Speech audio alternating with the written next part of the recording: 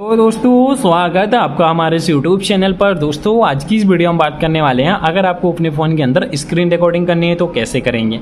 इसी वीडियो में आपको बताने वाले हैं कि आप अपने फ़ोन के अंदर स्क्रीन रिकॉर्डिंग कैसे कर सकते हैं। तो वीडियो में सिंपल सिंपल स्टेप रहने वाले हैं, जिन्हें फॉलो करके आप अपने फ़ोन के अंदर स्क्रीन रिकॉर्डिंग कर सकते हैं। तो चलिए गाइज़ वीडियो स्टार्ट करते हैं और आपको बताते हैं अपने फ़ोन में स्क्रीन रिकॉर्डिंग कैसे करनी है।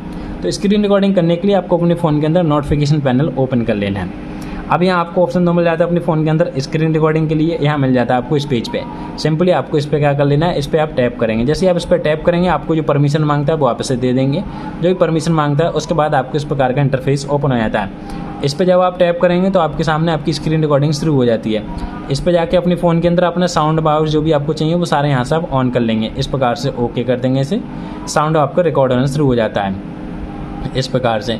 अपनी स्क्रीन पर आप जो भी काम करेंगे, वो सारा आपका रिकॉर्ड होना शुरू हो जाता है। अगर आपको अपनी स्क्रीन रिकॉर्डिंग पॉज करनी है तो इस पर क्लिक करके अपनी स्क्रीन रिकॉर्डिंग को आप पॉज कर सकते हैं। इसके बाद अगर आपको स्क्रीन स्क्रीन रिकॉर्डिंग फिर से स्टार्ट करनी है, वहीं से आपकी स्टार्ट हो जाती है। अगर सेव करनी है तो इस वाले क्लिक के सेव कर देंगे तो आपके फ़ोन के अंदर स्क्रीन रिकॉर्डिंग सेव हो जाती है। तो इस प्रकार से अपने फ़ोन के अंदर आप स्क्रीन रिकॉर्डिंग कर सकते हैं। तो अगर आपको हमारी वीडियो अच्छी लगी हो तो वीडियो को लाइक करें शेयर करें। और चैनल पर नए हो तो चैनल को करें सब्सक्राइब तो मिलते हैं आप सब किसी नेक्स्ट वीडियो में। तब तक के लिए बाय एंड टेक केयर